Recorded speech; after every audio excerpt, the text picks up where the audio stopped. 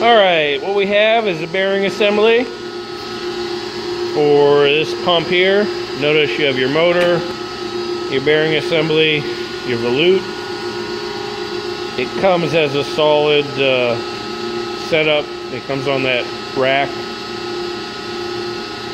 Got a new gasket for it. That is a bronze impeller.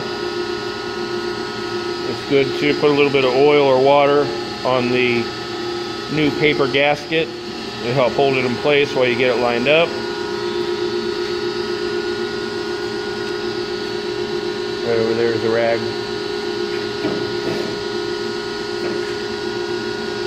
Not too difficult to do, but we're going to do it anyway.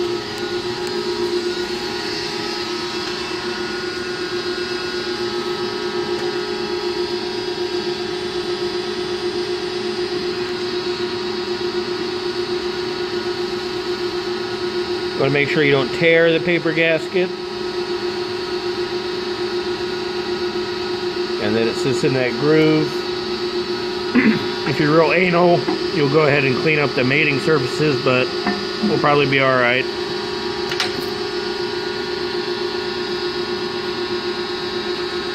You have to rotate that around a bit.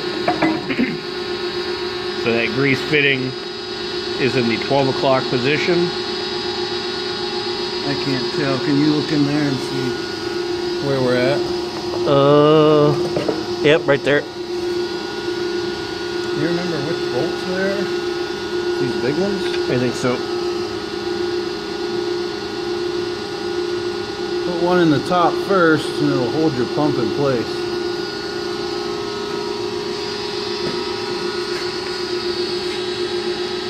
This time we're actually going to use a set of wrenches, make our job a little bit easier.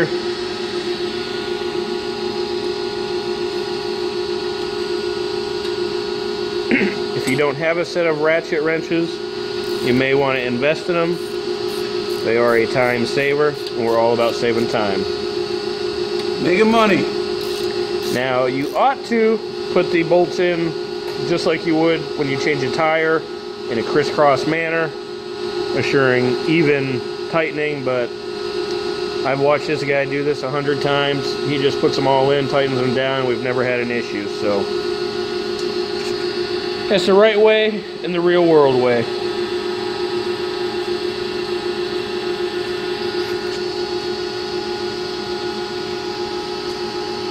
bet we don't have a new.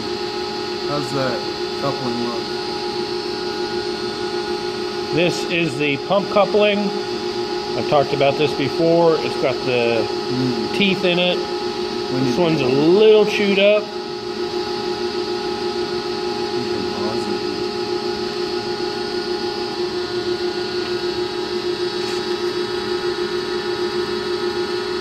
So we may end up replacing that coupling.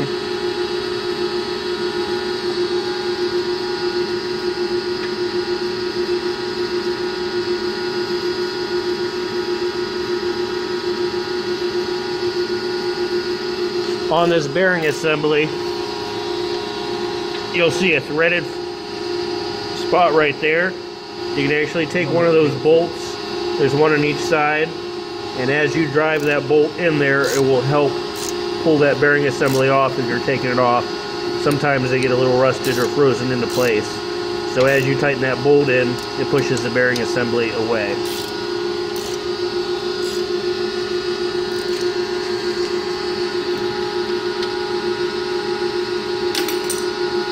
Yahtzee. Whenever you drop something, you have to yell Yahtzee.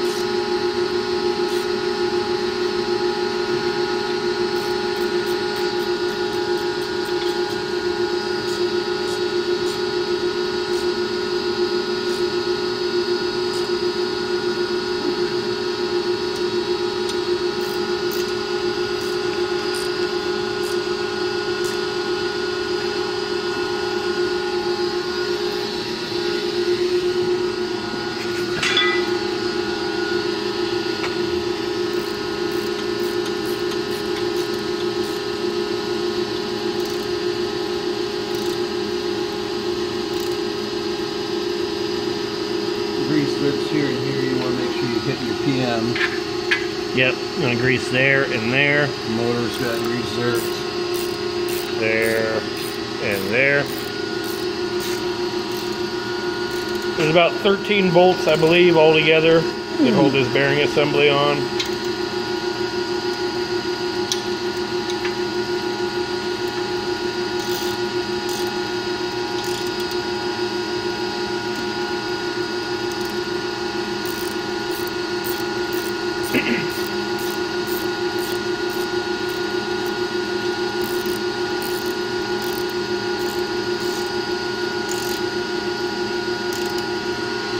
He's finishing that up, this is a balancing valve. You can set it up to your uh, max flow.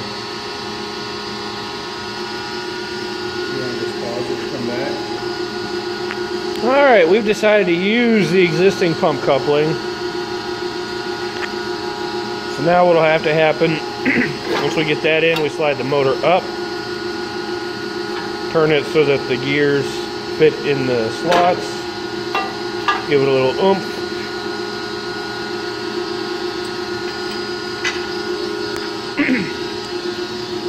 Motor has four bolts that lock it into place.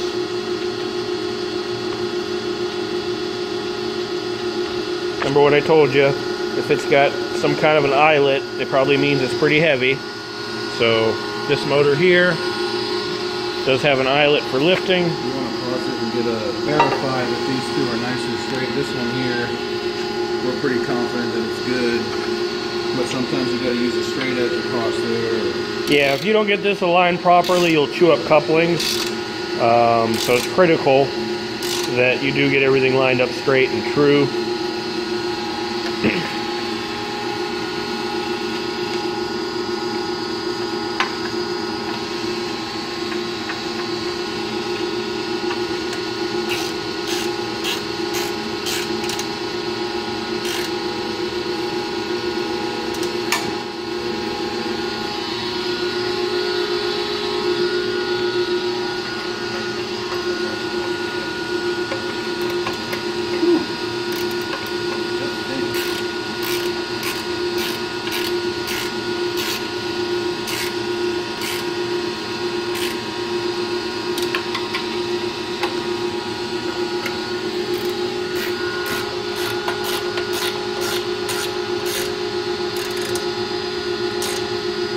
Get it.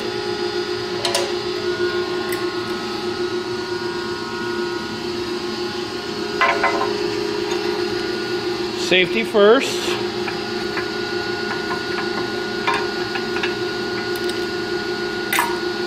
This bracket actually helps support that bearing assembly and then the, there's a cover that goes over that coupling and that'll go on last.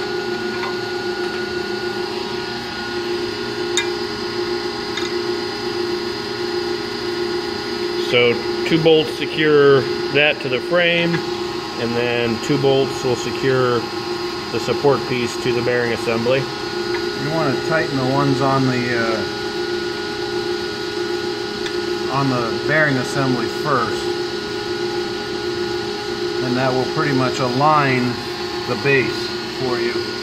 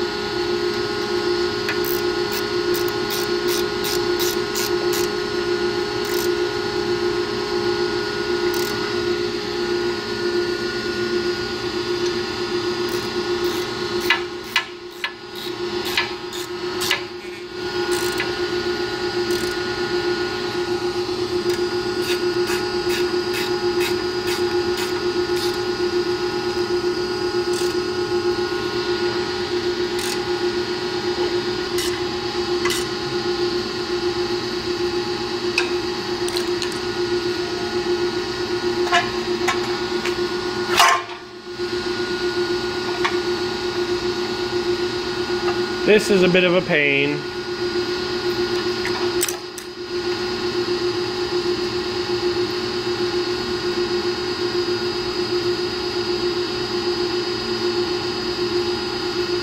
Nut washer washer or bolt washer washer nut.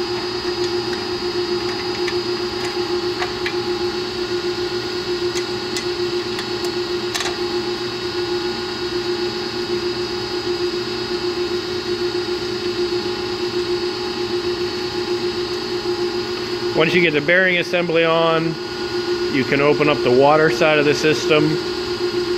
Uh, we'll probably just wait till we get this cover on, but check and see if you have any leaks.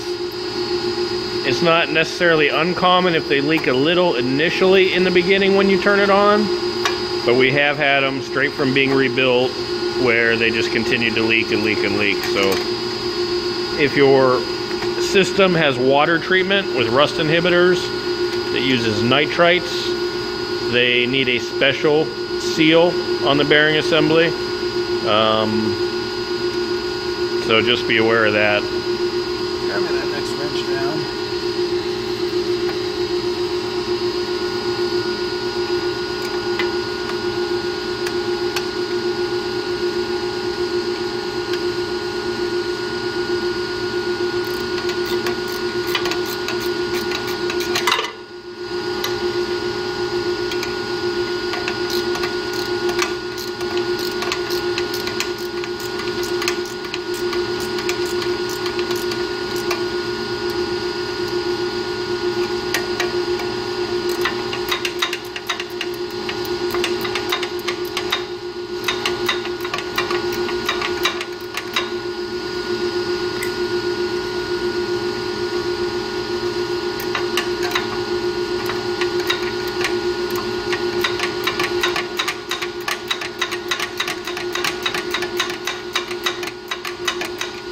Ratchet wrenches are nice. You got to do this with a regular wrench. You only get a little bit, little bit range of motion, so it'd be kind of a pain having to reset your wrench every eighth of a turn. Sockets would work too, um, but sometimes just the ratchet wrenches kind of give you the best of both worlds.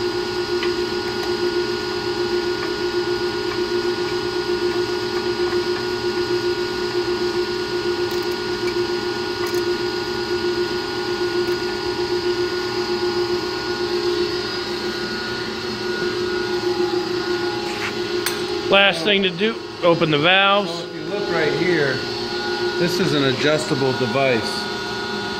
That if you were balancing this valve to a certain gallons per minute, you would adjust this, and when it gets to this slot right here, that's when you would stop. This particular one, because it's a big building, it just goes it just goes all the way open.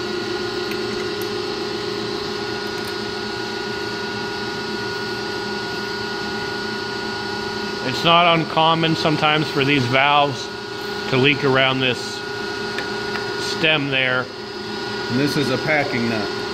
And sometimes you can tighten that packing nut and that will solve the problem. Other times it may just be leaking.